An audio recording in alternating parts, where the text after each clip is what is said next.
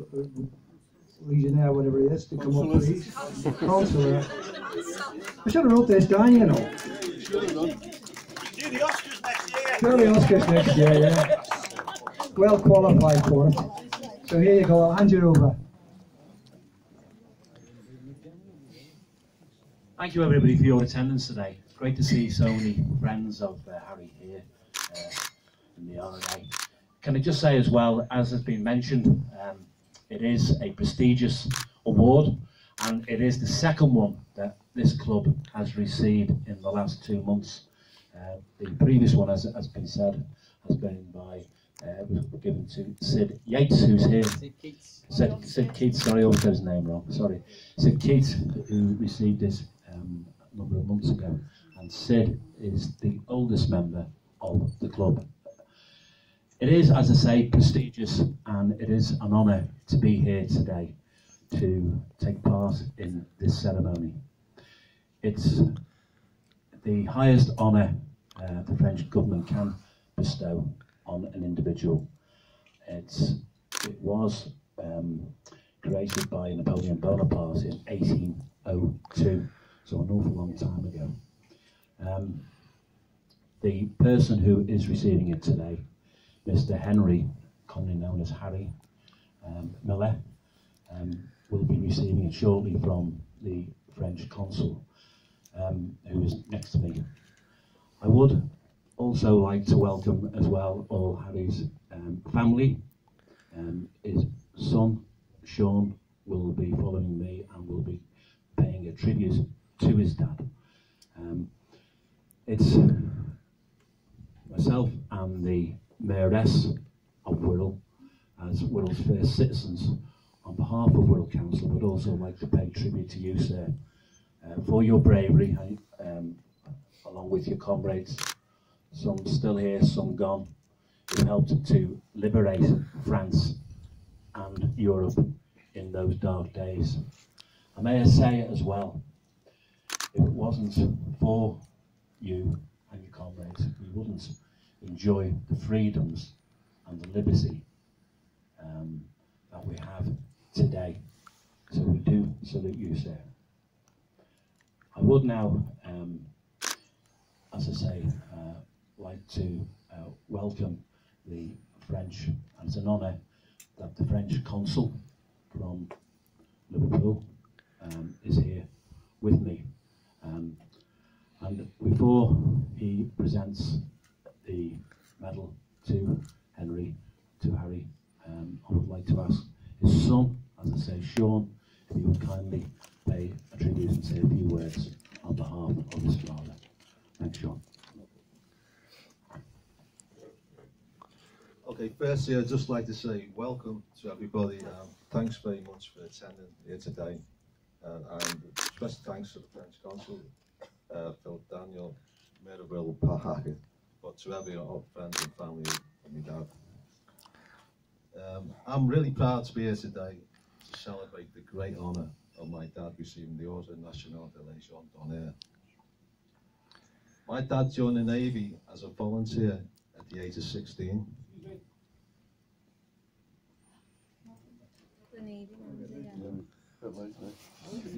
This, the ship sank. this was in the dark days of March 1942.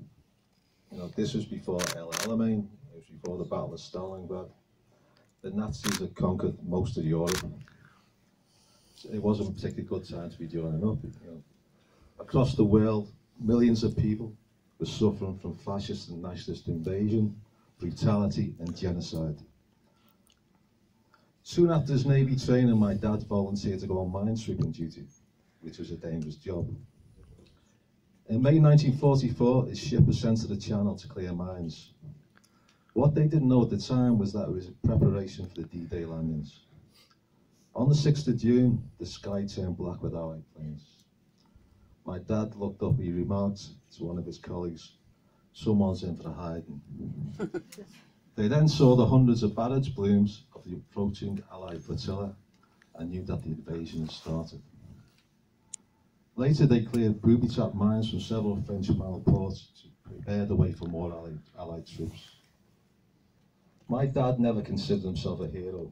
just one of the millions of brave men and women who were determined to fight back against fascist tyranny and save the future of the human race. If the fascists had won, we'd now be living in a world of fear, injustice, cruelty, and slavery.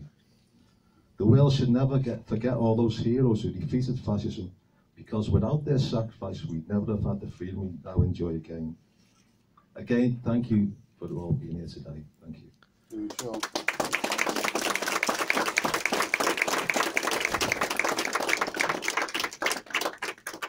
Thank you very much, Sean. Can I now introduce Commander Thompson, who's going to say a few words about the uh, Legion of Honour and a little bit more besides. Uh, Commander Thompson, a big round of applause, please.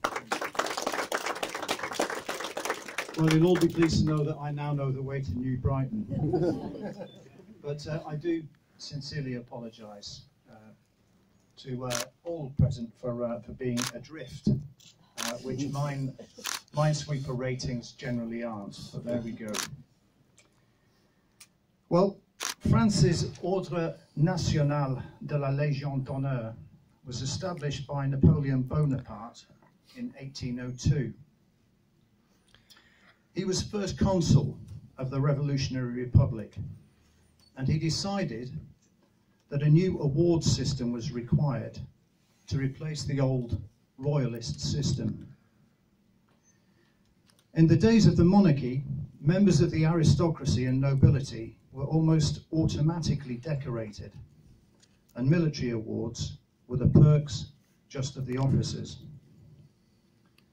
Napoleon's aspiration was for an honour that would re- reward those who earned and deserved it rather than were born to it, regardless of rank or birthright.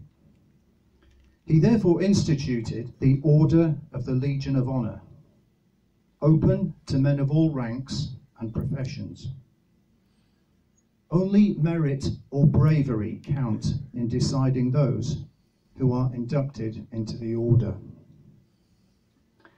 The Grand Master of the Order is always the President of the French Republic. And today, Mr. Miller becomes a Chevalier of the Order. Chevalier meaning a knight. French citizens aren't even considered for selection to the Order until they've achieved at least 20 years of public service or 25 years of eminent service in a recognised profession. All members of the French military, regardless of their seniority, must salute members of the order, and there are only 74,000 living recipients of chevaliership worldwide.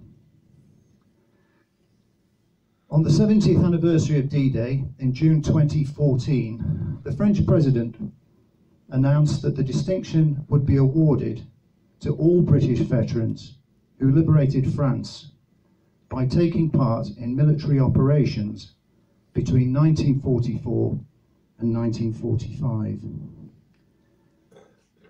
I've been invited to give you the background of the work that Mr. Miller did to become a Chevalier de l'Ordre National de la Légion d'Honneur. Just bear with me and get the stage direction right.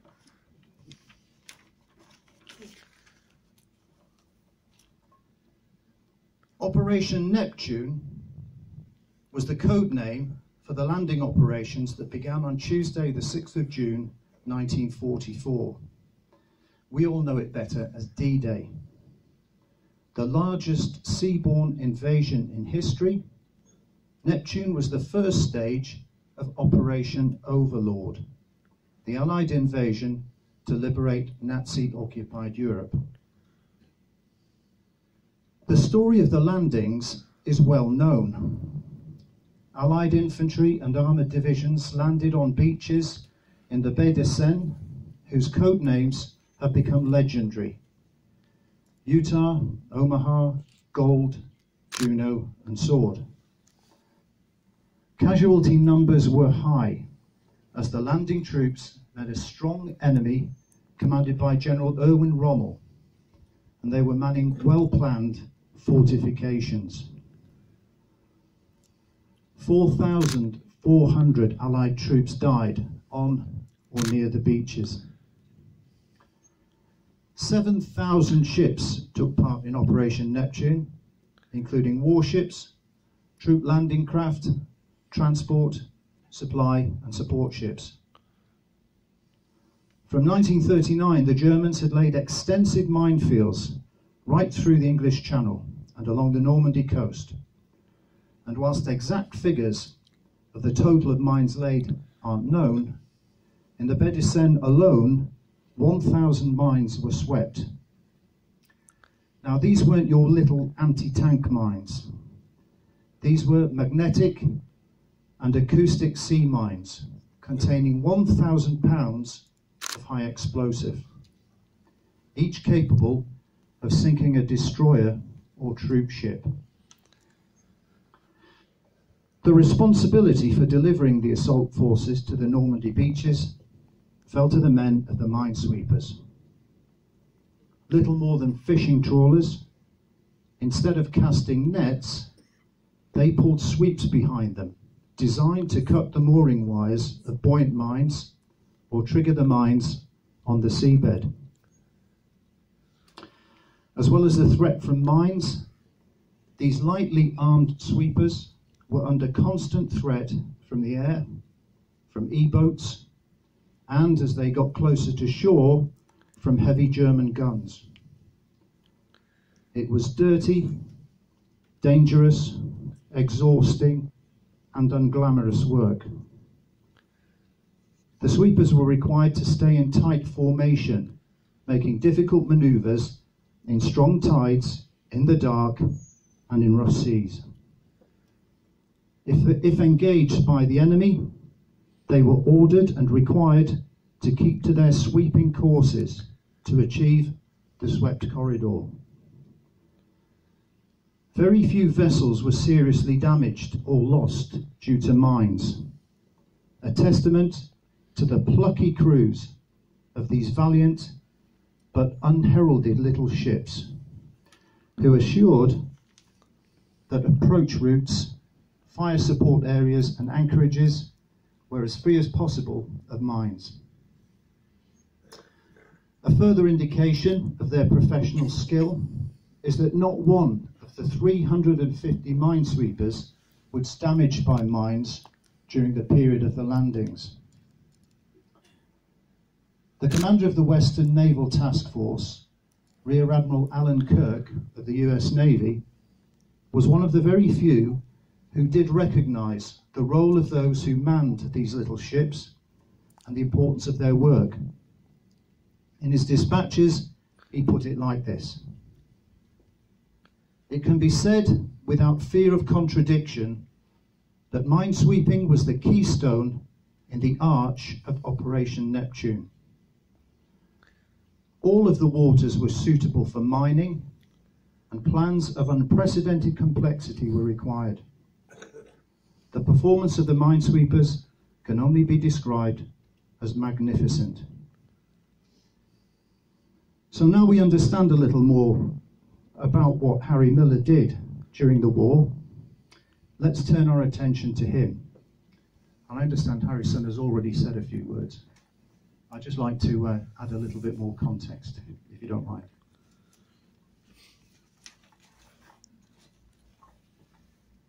Henry Miller, known to all as Harry, was born in Kirkdale, Liverpool on the 21st of July 1925, which makes him just short of his 92nd birthday. He volunteered to join the Royal Navy in March 1942, aged just 16 years and eight months old. And as you've already heard, this was a very dark time in the nation's history.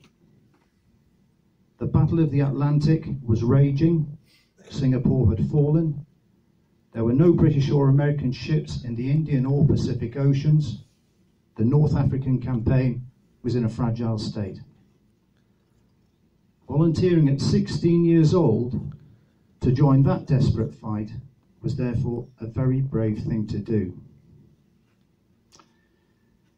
We know that Harry was sent to Ipswich for his training and heard that there was a requirement for men to crew minesweepers. He volunteered and joined a minesweeper on operations in the southwest approaches. He was the youngest member of his ship's company. In May 1944, his sweeper was deployed to the English Channel.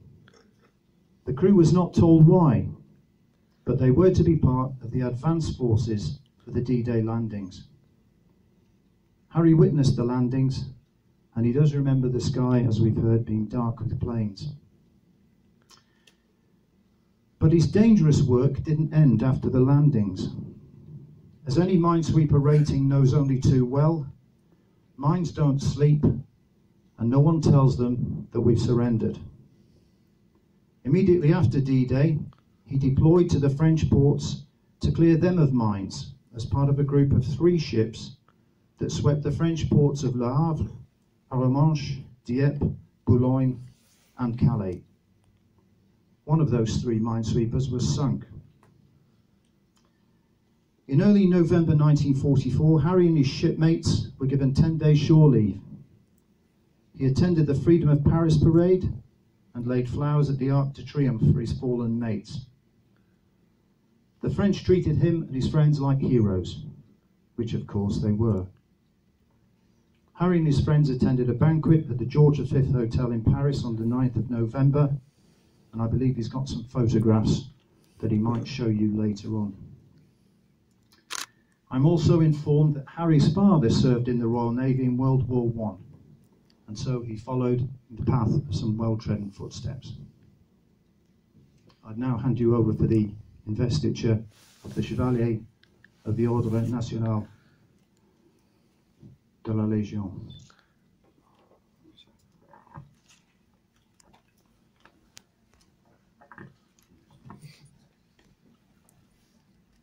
Mayor, Commander, Chair, it's uh, an honour for me to be back here for the second time uh, in, a, uh, in a short period. Uh, I think I want to start off by saying thank you to whoever thought of putting um, a branch association uh, here. It's um, the, and I want to say thank you to the people who run it. It's on both occasions I've felt welcomed. Um, I've uh, found the hospita- hospitality to be generous, and I do understand how difficult it can be to keep um, such a, a welcoming and friendly organisation like this running. Uh, thank you too to um, the commander for attending today's ceremony and to the mayor and um, Ismaris. Uh, I would also like to say um, a personal thank you uh, to, in this instance, this afternoon, to uh, Harry Miller. Uh, I have not had to uh, serve in the armed forces. Uh, I could have done, I had that option, uh, but it seems to me that after the Second World War, the price which the men who didn't come back paid, and the the trauma, probably the tribulation which uh, men like Harry went through, led to a period of peace in Europe, and uh, it hasn't fallen to me to have to go to war. So thank you very much to Harry, who is here, as he, I'm sure he will acknowledge, on behalf of all his comrades. Uh, the chair, uh, I am the honorary French consul for Liverpool, and uh, essentially I represent the French nation uh, in Liverpool. Uh, the Légion d'honneur has been presented to all surviving participants of the D-Day landings, uh, and it's numbered between uh, four and four and a half thousand uh, recipients in this country.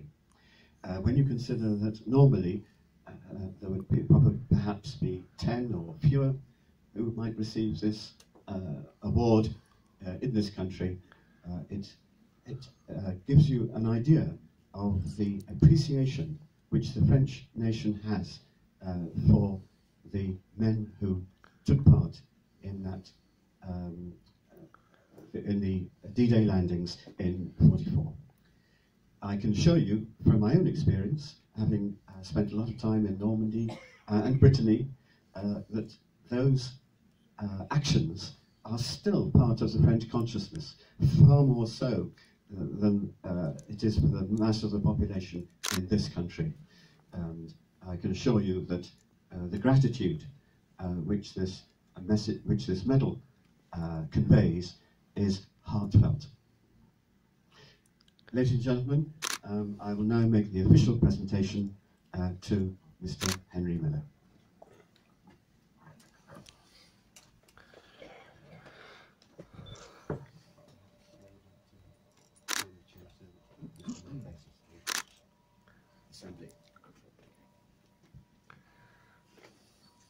Monsieur Au nom du président de la République, nous vous faisons chevalier de la Légion d'honneur. Monsieur, les félicitations.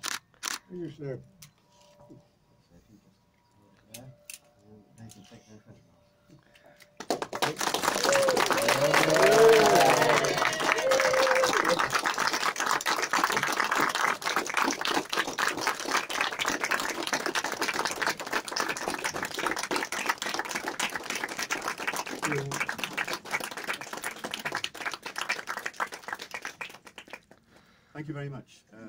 an opportunity now for photographs uh, with uh, Commander and the Mayor.